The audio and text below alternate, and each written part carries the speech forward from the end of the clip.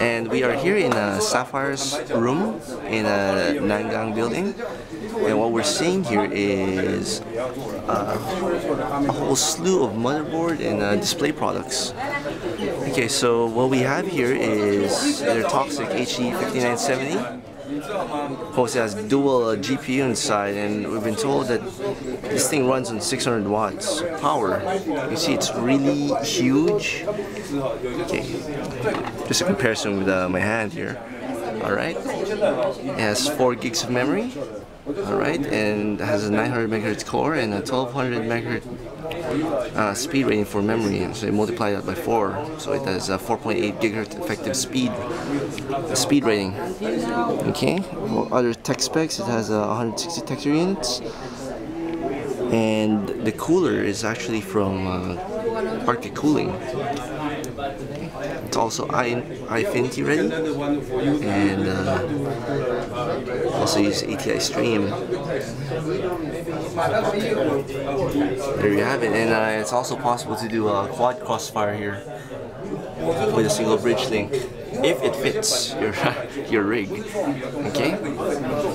Alright, what we have on top is uh, their Vapor X 5750. Okay, we've been told that the Vapor X is actually the uh, Sapphire innovation in that uh, this heatsink has a chamber inside that has uh, that's vacuum sealed and uh, has a few drops of water. There's a few drops of water. inside this, uh, you've got a few drops of water. Yes, inside the vapor chamber, there's water. The liquid is water.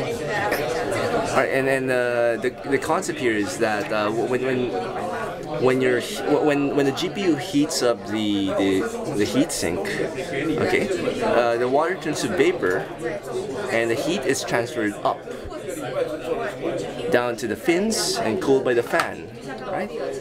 And the water turns uh, condenses again, and the cycle repeats.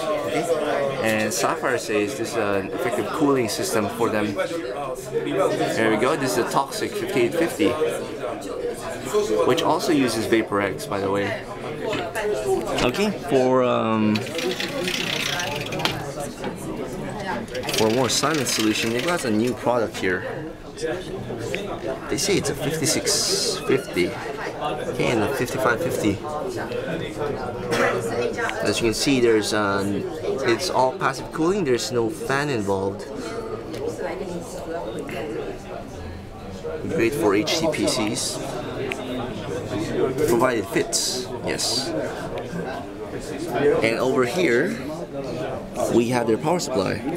Okay, Sapphire says that this is an, actually an 850 watt power supply that is that has an extra 100 watts okay, capacity. So it's marketed as a 950 watt PSU. You can't really find something like this around the market. Uh, Sapphire makes um, power supplies no less than 650 watts so as you can see there's uh, up to a 1250 watt version alright there you have it. A bunch of kick-ass ATI graphics cards